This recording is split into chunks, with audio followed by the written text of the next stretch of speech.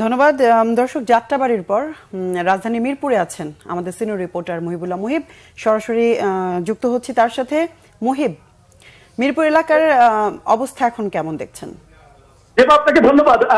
সকাল থেকেই কিন্তু পুলিশ এবং সাধারণ ছাত্রদের মধ্যে সংঘর্ষ চলছে। সেই সংঘর্ষ প্রায় টানা তিন ঘণ্টা চলার পরে পুলিশ কিছুটা এখন এই মুহূর্তে আমরা রাস্তায় দেখছি না। পুলিশ পুলিশ পুরোপুরি রাস্তা দখলে নিয়েছে শিক্ষার্থীরা। এবং এই মুহূর্তে দশ নম্বর গোল চত্বরে যেই পুলিশ বক্সটি রয়েছে, সেই পুলিশ বক্সে আগুন জ্বলছে এবং পুলিশ বক্সের চারপাশ দিয়ে যে চারটি সিঁড়ি নেমেছে, অর্থাৎ চারটি ফুটওভার ব্রিজের যেই চারটি পথ, সেই চারটি পথেও কিন্তু আগুন ছড়িয়েছে এবং সেই আগুন কিছুটা বিল্ডিং লাগোয়া যেই বিল্ডিংগুলো রয়েছে ফুটওভার ব্রিজের সেই বিল্ডিং এর কাছাকাছি এসে পৌঁছেছে। ফায়ার সার্ভিসের গাড়ি আসতে চাচ্ছিল কিন্তু আমরা দেখেছি যে বিক্ষুব্ধ শিক্ষার্থীদের বাধার মুখে সেই ফায়ার সার্ভিসের গাড়ি এখানে আসতে পারছে না।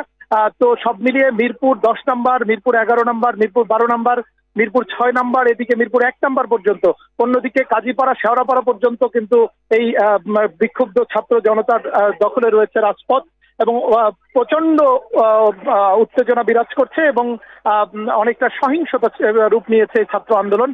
বিশেষ করে সকাল থেকে শিক্ষার্থীদেরকে মোকাবেলা করার জন্য প্রতিরোধ করার জন্য আমরা রাজপথে আওয়ামী লীগ, ছাত্রলীগ, যুবলীগকে দেখেছিলাম, কিন্তু এখন তাদেরকেও আমরা রাজপথে দেখছি না। সব মিলিয়ে এখানে একটা চারদিকেই অর্থাৎ সবগুলো রাস্তায় টায়ার জ্বালিয়ে কোথাও কোথাও মোটরসাইকেল পুড়িয়ে বিক্ষোভ চলছে। সব মিলিয়ে অনেকটা রণক্ষেত্রে পরিণত হয়েছে এই মিরপুর দশ নম্বর গোল চত্বর। তো এটি এখনও চলছে, এখনই উত্তেজিত এখনও উত্তেজিত শিক্ষার্থীরা কিন্তু মিছিল স্লোগান দিচ্ছে এবং হাজার হাজার শিক্ষার্থী কিন্তু রাজপথে নেমে এসেছে।